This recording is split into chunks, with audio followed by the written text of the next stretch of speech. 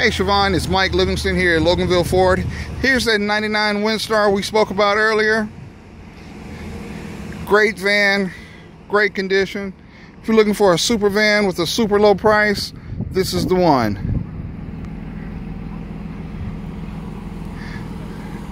I know you're keeping your granddaughter right now, but take a look at the inside of this van.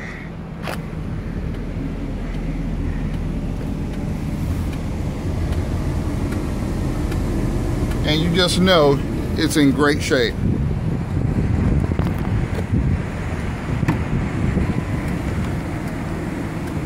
Power windows and door locks, CD player, air blows cold.